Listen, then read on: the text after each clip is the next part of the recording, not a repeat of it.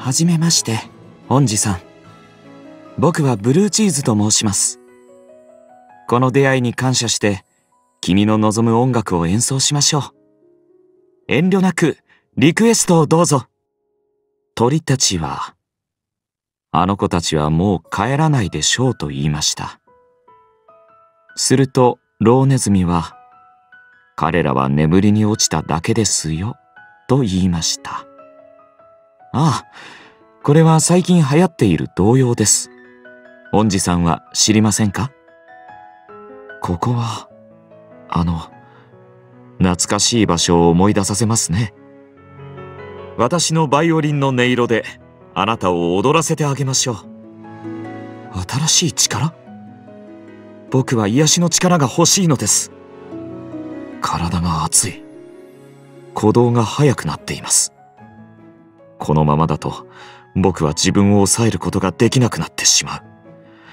はあ、はあ、早く休ませてください。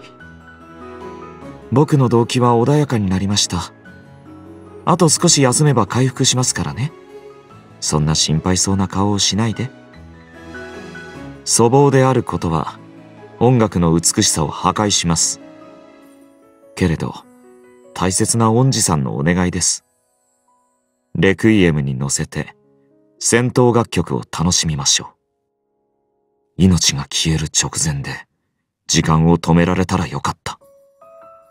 新鮮な料理が完成しました。大丈夫。不安になるものは作っていませんよ。子供たちが本気で見せる純真な笑みはいつも眩しくて目が離せません。僕はいつでも彼らの笑顔に癒されます。あの子たちは神の生みし宝ですね。この世界は近いうちに崩壊するでしょう。まるで脆いチーズのように。しかし、僕たちには希望はあります。そうでしょ恩師さん。恩師さん、時間を止めたいと思ったことがありますか？僕の演奏を聞きたいですか？仕方ありませんね。君は僕の恩師さんですし、特別に弾いてあげてもいいですよ。さあ、リクエストをどうぞ。痺れる音楽を聴かせてあげましょう。精霊が住む岩穴には、朽ち果てた魅惑的な秘密が隠されていると言います。恩師さんは、この秘密をどう思いますか？どんなことに直面しても、君の目には希望と確固たる思いが溢れています。君を絶望させることは何もないです。そんな希望を僕に抱かせてくれませんか？